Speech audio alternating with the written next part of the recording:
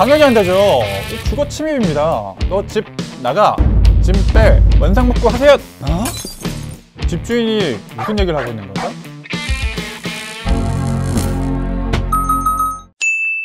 안녕 여러분, 현변이에요. 자, 오늘은 지난 화에 이어서 자취하는 친구들의 고민을 한번 들어볼까요?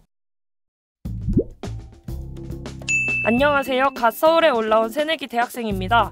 학교 근처에 2년짜리 월세 계약을 하고 지금 6개월째 살고 있는 중인데요. 갑자기 집주인이 사정이 생겼다면서 보증금 돌려줄 테니까 이번 달 말까지 나가라고 하는 거예요.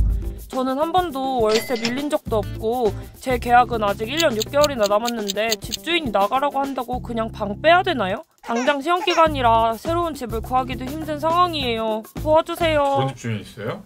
말도 안 되지. 아, 이런 경우 없을 것 같은데 은근히 많더라고요. 아직까지 집주인이 갑이라고 생각하시는 분들이 굉장히 많아요. 여러분들 임대인과 임차인은요 갑과 을의 관계가 아닙니다. 동등한 계약 주체일 뿐이에요. 자 집주인이 갑자기 사정이 생겼다고 하면서 너 집 나가 짐 빼라고 하면 나가야 됩니까? 아니에요. 우리는 이런 경우를 대비해서 계약서를 썼잖아요. 계약 기간이 엄연히 명시가 되어 있습니다. 만약에 법정으로 해지 사유가 정해진 뭐 임대료를 밀렸다, 집을 손상시켰다 하는 경우가 아니라면요. 나는 임차인으로서 그 기간 동안은 살 수 있는 권리가 있는 거예요. 집주인이 나가라 그러면요. 계약서 딱 보여주면서 당당하게 말하세요. 싫어요, 안 돼요, 계속 살 거예요. 따라하세요. Listen and repeat. 계약 기간 남아 있습니다. 이러니까 계약서 꼼꼼히 살펴보는 거 중요하겠죠? 자 여러분 지금까지 주거 계약과 관련해서 살펴봤는데요. 여러분들이 자취하면서 사소하지만 애매했던 부분들 있잖아요. 그런 부분들을 제가 알려드리겠습니다. 댓글 좀 읽어볼게요. 자취를 하는데 집에 곰팡이가 폈어요. 제가 도배비 물어줘야 되나요?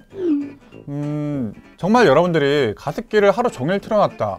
그래서 곰팡이가 생긴 게 아니라면요. 통상적으로는 이 곰팡이는 시설부 하자. 그러니까 집 자체에 원래 있었던 하자 때문에 발생하는 경우가 많아요. 결로 현상이 있다든지 콘크리트 사이에 습기가 많이 찼다든지 하는 부분을 우리가 어떻게 할 수 있는 게 아니잖아요. 이런 거는 집주인이 부담해야 되는 부분입니다.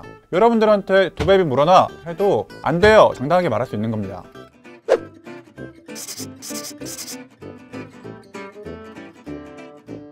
전세를 사는데 벽에 못 받거나 가구 위치 마음대로 바꿔도 돼요? 자 여러분들 계약 기간이 지나면 집주인이 말하죠 원상복구 하세요!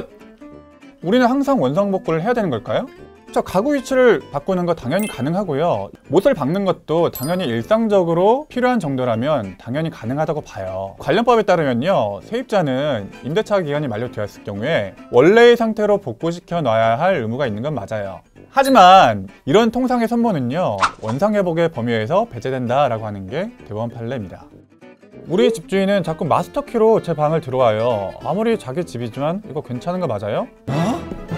어? 당연히 안 되죠 주거 침입입니다 자기 집이니까 마음대로 들어가도 된다 이거는 굉장히 옛날 사고방식인데요 지금 현재 주거하시는 분이 누구예요? 여러분이잖아요 여러분들의 허락 없이 방에 들어온다 그러면 주거 침입죄에 해당할 수가 있습니다 집주인이랑 싸우고 계약 기간을 덜 채우고 나가려는데요. 집주인이 보증금을 계약 기간 끝날 때 돌려준대요. 어떻게 하죠? 무슨 소리예요?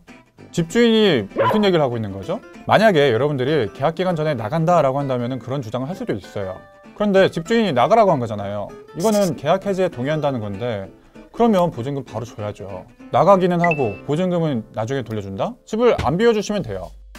자, 그 다음 질문이요. 계약 기간 못 채우고 나가면 다음 세입자를 꼭 구하고 나가야 해요?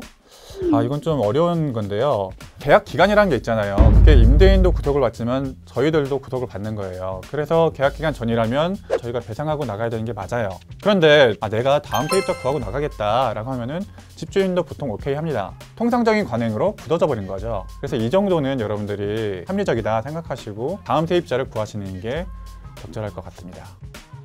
자, 주택 관련 문제를 살펴봤는데요. 법대로 하는 것도 중요하지만 제일 중요한 것보다 원만하게 합의하는 게 제일 좋아요. 인생 사례가 다 그래. 자, 현변의 수임료는 뭐다? 구독과 좋아요 꼭 수임료 주세요. 안녕, 다음 시간에 만나요.